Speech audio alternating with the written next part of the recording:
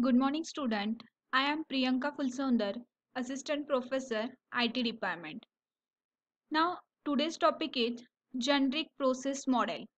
In our last video, we will discuss about what is software engineering, then why software engineering are required, also examples of software engineering, nature of software, and software engineering process activity and in this video we discuss about generic process model. Now generic process model. What is nothing but the process? First one is process is nothing but the collection of activities action and task. Collection of activities action and task is nothing but the process. Second one is activity. Activity means you have to achieve objectives then with application domain, size, complexity, etc. Third one is action. Action is nothing but the task. Okay. Action is nothing but the task. And last one is task. What is task? Task is a small, well-defined objective. Okay. Now, process framework model. What is process framework model? A process framework is a collection of software activities which forms a complete foundation or base for software development process. Okay, complete foundation of software development process or software engineering process. In short, generic process framework contain umbrella activity and framework activities for example, tasks which are part of the framework. For example, tasks which are part of the framework. A framework for the activities, action and tasks that are required to build high quality software. In our previous slide, we discussed about activities, tasks, etc. So, Framework is a basic structure of software development process. Now we are going to discuss and understand the generic model which is used for the major and various project. This model is known as the process framework model. Okay or generic process framework. Now in that there are five points included First one is communication, second one is planning, third one is modeling, fourth one is construction and fifth one is deployment. Now we will discuss one by one. First one is communication. We all are familiar with communication. Communication plays very important role in, in full software engineering process. Also, communication is required with the customer. Okay? Communication is required with the customer. It is required in the software development team as well as individual team. It is required for software development team as well as the individual team. Now the best example is that in all team members communication help to integrate and collaborate the software process. In all team members, communication that can be helps or to integrate and collaborate the total software process. Got it? Also, in fact, when the software project start, the data gathering and requirement analysis data gathering and requirement analysis are communication activities in which full project depend. Project are depend in which activity? Analysis and communication activity. Requirement analysis and communication activity. Got it? What is the communication and its role of the generic process framework? Next one is planning. It is important activity and any major projects has to be planned properly. Same in case of software projects. planning is done for the time. For example schedule is made. Okay? Schedule is made.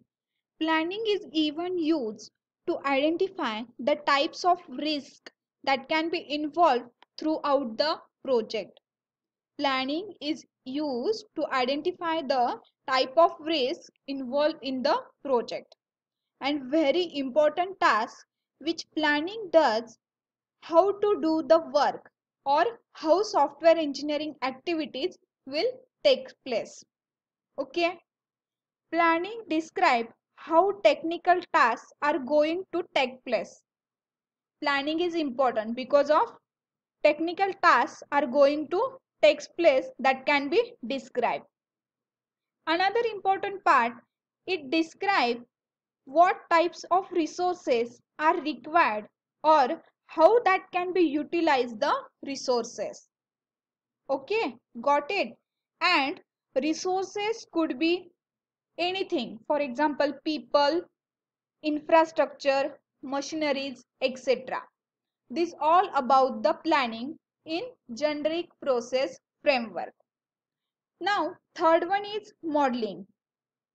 This important activity which take place a modeling in the framework. Now modeling creates the different model of the software. Number of model that can be created in the software so that it will be useful for the customer as well as developer to understand the requirements of that software. Modeling is also important because of to understand customer as well as developer of software requirements. Okay? And generally modeling is a part of software design. Okay? Modeling is a part of software design. Now fourth stage of generic process framework is nothing but the construction what will happen in construction stage in construction stage the design or the model is constructed by coding or converting into code okay it means the software is programmed or actually developed. Got it? Software is programmed or actually developed.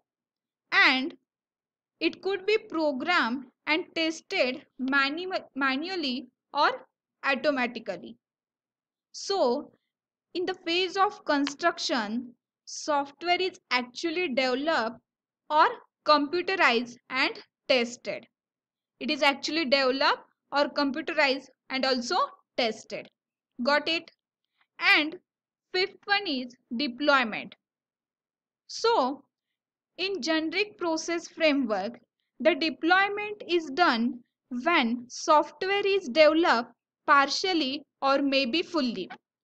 Deployment is done when software is developed partially or fully. In this phase, the software product is delivered to the customer and that customer evaluate this product and gives feedback about development team. Got it?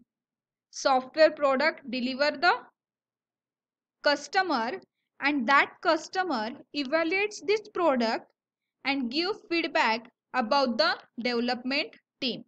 This all about the deployment okay these are the five activities which take place during the software development and this framework is applicable to small as well as large software development process. It is very important. And also the detail of process get changed only when the project gets changed. Detail change it means project get change but the basic framework remain same.